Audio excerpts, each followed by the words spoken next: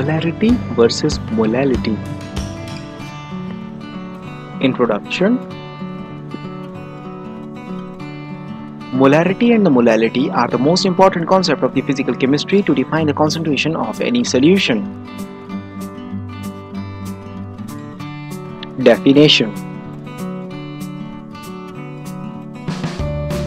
Molarity or molar concentration is defined as the number of the moles of solute present per liter of the solution. Molality or the molal concentration is defined as the number of the moles of solute present per kilogram of the solvent.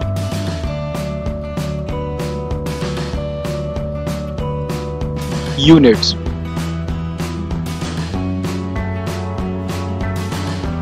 From the definitions, molarity equal to moles per liter and molality equal to moles per kilogram. For example, 0.5 molar HCl means 0.5 moles of HCl is present in every 1 liter of the solution. And 0.5 molal NaCl means 0.5 moles of NaCl is present in every 1 kilogram of solvent. Formula Molarity From the definition, we know that the molarity is equal to the number of the moles of solute present per liter of the solution that is equal to N by V where N is the number of the moles of solute and V is the volume of the solution in liters. We know that the N equal to W by M where W equal to mass of the solute and the M is the molar mass of the solute.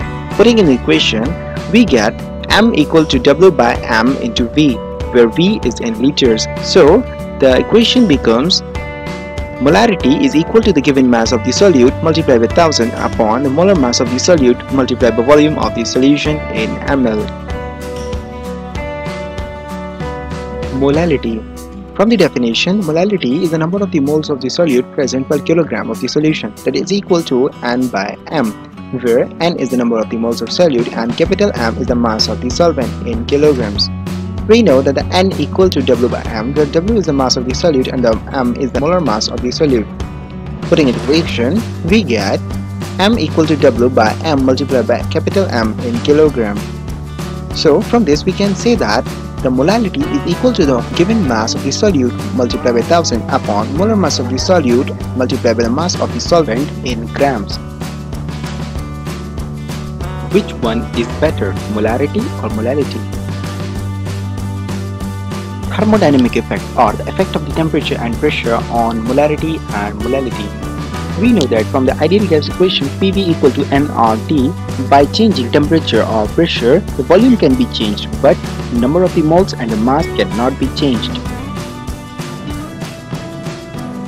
From this, if we talk about the molarity, then molarity is depends on the volume and volume can be changed by changing temperature and pressure.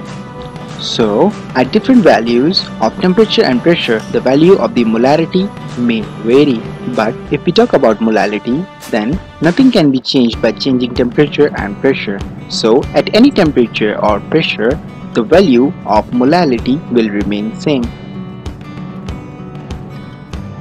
That's why we do prefer molality instead of molarity. Thanks for watching. Hope you learned something. Share, like and subscribe.